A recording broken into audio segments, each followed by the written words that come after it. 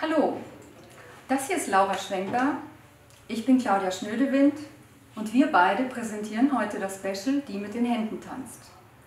Das Special ist barrierefrei und es beschäftigt sich mit dem Thema Gehörlosigkeit und Musik, also Gebärdensprachdolmetscher und Musik.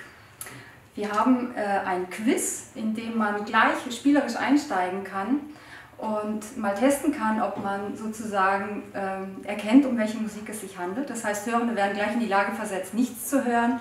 Gehörlose haben gleich ein spielerisches Element.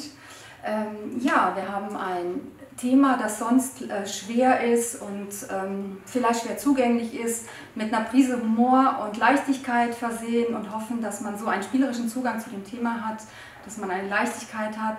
Ähm, ja, Ansonsten wollten wir gerne erreichen mit dem Special, dass wenn Sie auf ein Konzert gehen, dass Sie schauen, gibt es einen Gebärdensprachdolmetscher und wenn es keinen gibt, sich fragen, verdammt nochmal, warum ist hier eigentlich kein Gebärdensprachdolmetscher für Musik? Denn Musik soll immer barrierefrei sein und das ist Lauras großer Wunsch und dafür, ja, daran arbeitet sie.